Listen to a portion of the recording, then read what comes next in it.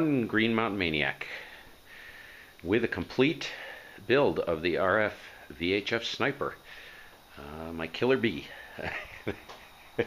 That's what I'm calling it. Uh, if it doesn't work, at least it's entertaining to look at, right? Well, uh, this is the uh, uh, 7 element VHF quad that will be used in the contest coming up this weekend, the VHF contest.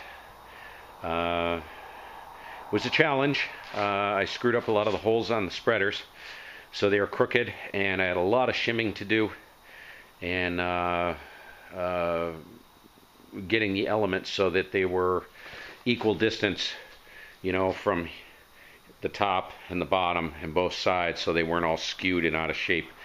Um, uh, matched up beautiful uh, at uh, what is it? 144 200 I believe. And uh, I got a nice uh, about a 1.2 to 1 SWR nice long gradual curve on the SWR linear curve for the plot.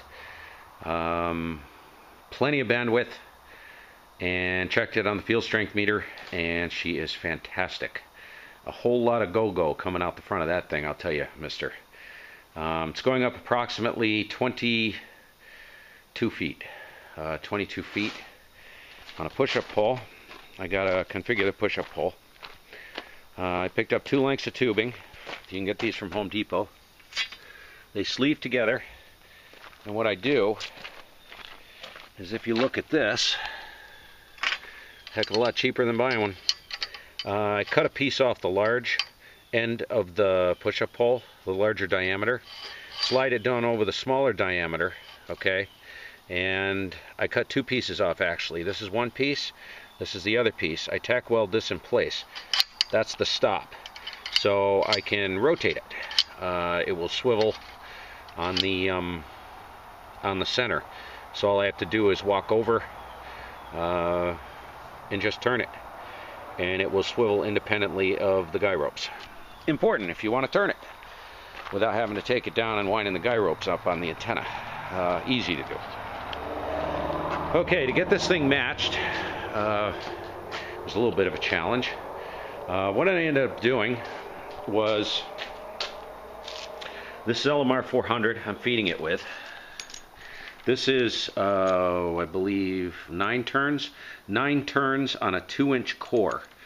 Uh, the outside uh, diameter of a two-inch piece of PVC. Uh, this is nine turns of 75 ohm coax. This is exactly one quarter wavelength of coax on 144-200. Um, and this goes in and I connect it inside here uh, one, one note uh, when you're dealing, dealing with uh, 75 ohm quad shield, uh, you cannot solder the braid.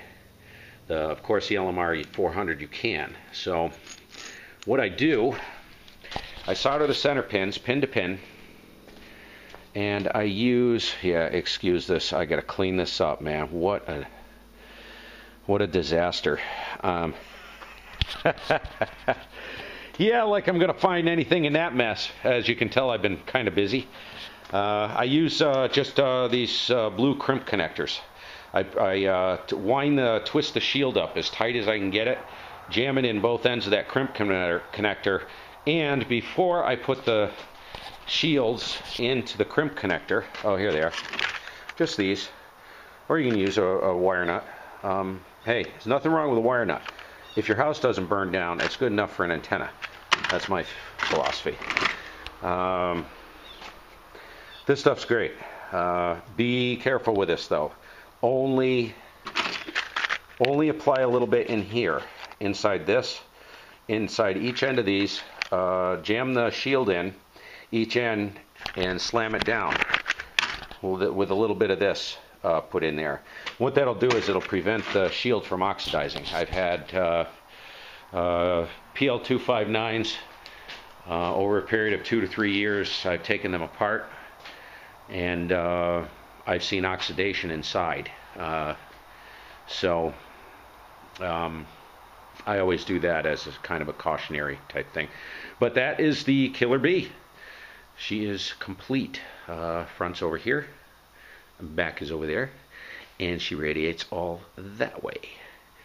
So, uh, field strength meter, uh, move out to the side. I wish I could demo it for you, but I'm exhausted. I have been going, I've got between these two antennas, between the six meter beam and this one, I've got, oh, 40 hours of construction and tuning into these, and I just can't take the time. I'm sorry. But I will give you reports, and we are going to run video at uh, the VHF contest, so I will have reports for you then. Uh, enjoy. I hope that inspires this inspires you. Uh, uh matching it can be a challenge. Uh, was going to do uh, tuning stubs, which you can basically install tuning stubs on every single one of the elements.